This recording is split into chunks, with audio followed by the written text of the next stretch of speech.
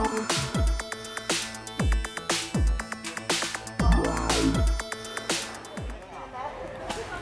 ัสดีค่ะคุณผู้ชมคะต้อนรับคุณผู้ชมเข้าสู่สาระดีๆ กับสุภาวินีบัวบาน รายการที่จะนำเสนอเรื่องราวสาระน่ารู้ กิจกรรมต่างๆ ที่เป็นประโยชน์ แล้วก็จะทำให้คุณผู้ชมนั้นรู้จักกับมหาวิทยาลัยรามคำแหงเพิ่มมากยิ่งขึ้นค่ะ คุณผู้ชมคะทุกๆ ปี งานนักศึกษาวิชาทหารกองกิจการนักศึกษา มหาวิทยาลัยรามคำแหงเขาจะนำน้องๆนักศึกษาวิชาทหาร โดยเฉพาะชั้นปีที่ 4 ถึงชั้นปีที่5นะคะมาทำกิจกรรมที่เป็นสาธารณประโยชน์ และเช่นเคยค่ะ ตอนนี้นะคะเราอยู่กันที่ศูนย์ศึกษาการพัฒนาห้วยห้องไคร้อันเนื่องมาจากพระราชดำริที่จังหวัดเชียงใหม่นั่นเองค่ะ เหตุผลที่พาน้องๆมาที่นี่เนี่ยนะคะ นอกเหนือจากการที่จะมาศึกษาวิธีการในการสร้างฝาย รู้จักกับป่า รู้จักกับธรรมชาติแล้วนะคะ ที่นี่น้องๆจะได้ลงมือทำนะคะ ด้วยการปฏิบัติจริง ๆ ในการเรียนรู้กระบวนการสร้างฝาย แล้วก็สร้างฝายชะลอน้ำตามแนวพระราชดำริ เพื่อที่จะสร้างประโยชน์ให้กับธรรมชาติและสิ่งแวดล้อม รวมถึงทำให้พวกเขานั้น มีจิตอาสาและจิตสาธารณะในการทำคุณประโยชน์เพื่อสังคมกันด้วย วันนี้สาระดีๆจะพาคุณผู้ชมไปติดตามเรื่องนี้กันค่ะ ในฐานะสถาบันการศึกษาของประชาชน มหาวิทยาลัยรามคำแหงนอกจากให้ความรู้ในห้องเรียน ยังจัดกิจกรรมต่างๆ เพื่อส่งเสริมสิ่งดีๆ สู่นักศึกษาค่ะ ทุกๆ ปีงานนักศึกษาวิชาทหาร มหาวิทยาลัยรามคำแหง จะนำน้องๆ นักศึกษาวิชาทหาร ออกเดินทางไปทำกิจกรรมอันเป็นประโยชน์ต่อชาติบ้านเมือง เพราะเยาวชน ถือเป็นกำลังสำคัญในการพัฒนาประเทศชาติ ครั้งนี้ก็เช่นกันค่ะ เราได้รับความร่วมมือและการเอื้อเฟื้อ จากสถานีวิทยุโทรทัศน์กองทบกช่อง 5 และมณฑลทหารบกที่ 33 จังหวัดเชียงใหม่ กับการจัดกิจกรรมสาธารณประโยชน์มากมาย เริ่มต้นที่ โครงการรามคำแหงรวมใจสร้างฝายต้นน้ำลำธารตามแนวพระราชดำริที่นำน้องๆ ไปเรียนรู้วิธีการ และกระบวนการในการสร้างฝายต้นน้ำลำธารหรือฝายชะลอน้ำตามแนวพระราชดำริ ของพระบาทสมเด็จพระปรมินทรมหาภูมิพลอดุลยเดช ก่อนอื่นก็ให้น้องๆ ได้รับฟังการบรรยายความรู้ เกี่ยวกับประโยชน์และความสำคัญของฝายต้นน้ำลำธารตามแนวพระราชดำริ จากวิทยากรประจำศูนย์ศึกษาการพัฒนาห้วยห้องไคร้อันเนื่องมาจากพระราชดำริซึ่งในหลวงรัชกาลที่ 9 ได้พระราชทานพระราชดำริ ให้พิจารณาจัดตั้งศูนย์ศึกษาการพัฒนาห้วยห้องไคร้อันเนื่องมาจากพระราชดำริแห่งนี้ ในบริเวณพื้นที่ลุ่มน้ำห้วยห้องไคร้ ในเขตป่าสงวนแห่งชาติ ป่าขุนแม่กวง อำเภอดอยสะเก็ด จังหวัดเชียงใหม่ มีพื้นที่ดำเนินการ 8,500 ไร่ ให้เป็นที่ศึกษา วิเคราะห์ วิจัย ทดลอง เพื่อหารูปแบบการพัฒนาเกษตรกรรม และจัดการน้ำไว้สำหรับการอุปโภคบริโภคของหมู่บ้าน รอบบริเวณศูนย์ ตลอดจนถ่ายทอดความรู้ และให้บริการแก่ชุมชน ซึ่งถือได้ว่าที่นี่มีทรัพยากรป่าไม้ ดิน แหล่งน้ำและสิ่งมีชีวิตตามธรรมชาติที่อุดมสมบูรณ์มากค่ะนอกจากน้องๆ นักศึกษาวิชาทหารชั้นปีที่4-5ของมหาวิทยาลัยรามคำแหงแล้ว เรายังได้พลังจิตอาสาของนักศึกษาวิชาทหาร จากศูนย์การฝึกนักศึกษาวิชาทหารมณฑลทหารบกที่ 33 กว่า 200 นาย เข้าร่วมภารกิจสร้างฝายต้นน้ำลำธารตามแนวพระราชดำริ คนละไม้คนละมือ โดยเขามีการแบ่งหน้าที่กันอย่างชัดเจน อย่างนักศึกษาวิชาทหารชาย มีพละกำลังมากกว่า แข็งแรงกว่า ก็ช่วยกันแบกปูนลงไปยังพื้นที่สร้างฝาย นักศึกษาวิชาทหารหญิง ส่วนใหญ่ก็รับหน้าที่หาก้อนหินขนาดต่างๆ จากบริเวณใกล้เคียง แล้วลำเลียงมายังจุดที่เราจะสร้างฝายน้องๆ อีกกลุ่มหนึ่งก็มีหน้าที่ผสมปูนกับดิน ซึ่งได้มาจากในพื้นที่ตามอัตราส่วนที่เหมาะสม แล้วนำมาเทใส่แบบที่ทำไว้ สลับกับการใส่ก้อนหินขนาดต่างๆ เพื่อความมั่นคงแข็งแรงค่ะ ซึ่งฝายต้นน้ำลำธารนนี้จะช่วยชะลอน้ำป่า ที่ไหลลงมาจากยอดเขาสูงตามธรรมชาติ ให้ลดความรุนแรงและปริมาณลง แบบนี้ละค่ะจะทำให้พื้นป่า ทรัพยากรดิน และต้นน้ำลำธารยังคงอยู่ แถมบางฝายยังสามารถกักเก็บน้ำไว้ใช้ในหน้าแล้งได้อีกด้วยนะคะ คุณผู้ชมคะและตอนนี้ค่ะเราอยู่กับน้องๆนักศึกษาวิชาทหารของมหาวิทยาลัยรามคำแหง ซึ่งเป็นกำลังหลักนะคะในการทำภารกิจจิตอาสาในวันนี้นะคะกับการมาสร้างฝายที่ศูนย์ศึกษาการพัฒนาห้วยห้องไคร้อันเนื่องมาจากพระราชดำริค่ะ อยู่กับน้องอ้นแล้วก็น้องฝนนั่นเองนะคะน้องอ้นคะวันนี้เราทำอะไรบ้างในส่วนการสร้างฝาย เมื่อเรารับงานการมอบหมายมาแล้วนะครับในส่วนของผู้ชายก็จะเป็นการเกี่ยวกับบล็อก แล้วก็การยกหินผสมปูนครับ หินเนี่ยเราก็จะไปหาตามธรรมชาตินะครับ มีทั้งขนาดใหญ่ขนาดเล็กนะครับ ขนาดใหญ่เราจะวางเป็นฐานครับ เพื่อให้เกาะเกาะได้แน่นนะครับ ส่วนขนาดเล็กเราก็จะนำมาประดับในเมื่อเสร็จแล้วนะครับ ค่ะ แล้วก็ผสมปูนนะครับ ดินก็จะเอาดินตามธรรมชาตินะครับ ในอัตราส่วนคือปูนหนึ่งถุงต่อดิน 56 ถังนะครับ เมื่อเมื่อได้ทั้งครบแล้วอุปกรณ์แล้วก็คือต่อไปก็จะเป็นการวางหินนะครับ ตามบล็อกตามบล็อกที่ว่าที่วางไว้ ค่ะ แล้วก็ลาดปูนครับเพื่อให้มันเกาะยึดกันแน่นนะครับ พอเสร็จแล้วก็ จะเป็นการถอดบล็อกนะครับ เพื่อแล้วก็จะได้ฝ่ายที่สมบูรณ์นะครับอืมนะคะ นั่นก็เป็นงานในส่วนของน้องนะคะนักศึกษาวิชาทหารผู้ชายทีนี้เรามาดูกันว่าผู้หญิงเนี่ยค่ะเขาทำอะไรกันบ้างค่ะในส่วนของผู้หญิงนะคะ ก็หลังหลังจากที่ฟังการการบบรรรรยายยายจากท่านอืมวิทยากรแล้วก็จะแบ่งทีมกันค่ะเพื่อมารับผิดชอบของในส่วนของแต่ละฝ่าย พอมาได้ฝ่ายของตัวเองแล้วเนี่ยก็จะมาแบ่งทีมกันในฝ่ายอีกทีนึงว่า ใครทำอะไร แต่ส่วนใหญ่นะคะ ผู้หญิงก็จะรับผิดชอบในเรื่องของการหาก้อนหิน มาให้ผู้ชายใส่ในฝ่ายอะค่ะ เพื่อเป็นฐานก่อนที่จะโบกปูนลงไปอะค่ะ ค่ะค่ะแล้วก็จะช่วยในเรื่องของเอองานที่ไม่หนักหนามากช่วยค่ะเบาแรงผู้ชายในด้านที่ผู้หญิงสามารถทำได้อืมค่ะค่ะ แล้วหนูได้อะไรจากการที่มาทำฝ่ายในวันนี้บ้างอืมได้เป็นส่วนหนึ่งของการช่วยเหลือสังคมค่ะ ในด้านของการอนุรักษ์สิ่งแวดล้อม ค่ะ เพราะว่าการสร้างฝ่ายเนี่ยเหมือนกับช่วยกับชะลอน้ำสมมติว่าถ้ามีน้ำป่าไหลมาอย่างเงี้ยค่ะ ก็จะช่วยให้ชะลอน้ำให้มันแรงเกินไปนะคะ แล้วก็ถ้าเกิดหน้าแล้งก็จะช่วยกักเก็บน้ำในส่วนของส่วนนี้ไว้อะค่ะอืมเพื่อให้ป่าเนี่ยได้ชุ่มชื่น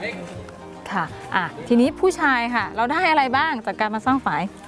คือดีใจมากนะครับที่ได้กลับมาที่ห้วยองคายอีกครั้งหนึ่ง อย่างแรกที่ได้ก็คือการความสามัคคีครับในหมู่คณะคือ ทุกอย่างการอาหินการผสมปูน การวางหิน เราต้องอาศัยความสามัคคีกันในหมู่คณะครับ อย่างที่สองก็คือช่วยเพิ่มความชุ่มชื่นให้กับธรรมชาติครับทั้งกักน้ำเก็บน้ำและที่สำคัญที่สุดคือได้ปฏิบัติตามรอยในในหลวงรัชกาลที่ 9 ของเราครับ คือท่านได้ทรงดำริคิดค้นการสร้างฝ่ายขึ้น ภูมิใจมากครับที่ได้เดินตามรอยพ่อครับนะคะก็เป็นความรู้สึกของน้อง ๆ ทั้งสองคนนะคะที่มาเป็นจิตสาธารณะกับมหาวิทยาลัยรามคำแหงในวันนี้ค่ะ นอกจากการสร้างฝายเพื่ออนุรักษ์ป่าและสภาพแวดล้อม ยังมีกิจกรรมบริการชุมชนอย่างโครงการ ตรวจวัดสายตาประกอบแว่นสำหรับผู้สูงอายุเพื่อถวายเป็นพระราชกุศล แด่พระบาทสมเด็จพระปรมินทรมหาภูมิพลอดุลยเดชค่ะ ที่แรกที่เราไปคือ ที่ว่าการอำเภอสันทรายจังหวัดเชียงใหม่นำโดยอาจารย์ดรดนายตันเกิดมงคล คณะบดีคณะทัศนมาตรศาสตร์ มหาวิทยาลัยรามคำแหง พร้อมคณาจารย์ บุคลากร และนักศึกษาในคณะ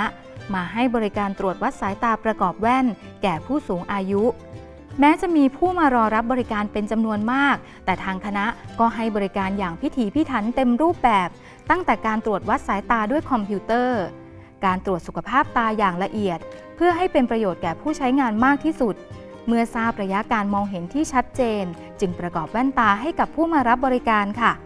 ให้บริการดีขนาดไหนคงต้องไปฟังคำตอบจากผู้มารับบริการ ซึ่งเป็นผู้สูงวัยในพื้นที่ค่ะ ดีครับ ดีกับประชาชนหลาย ๆ ด้านนะครับเขาให้บริการยังไงบ้างคะการบริการ ดีมาก บริการดีทุกอย่างเนาะแต่มันมีปัญหาอย่างเข้าตามคิวออกตามคิว มันมีการลาดคิวครับโดยยุติธรรมเลย ประโยชน์ไปดูเป็นข้าวสารหรือเอกสารหนังสือพิมพ์ที่ตามอำเภอส่งไปอะครับหรือเอาไปแจ้งลูกบ้านดูเนาะเวลาถ้ามีแว่นนี้มองเก็บพักเห็นนะ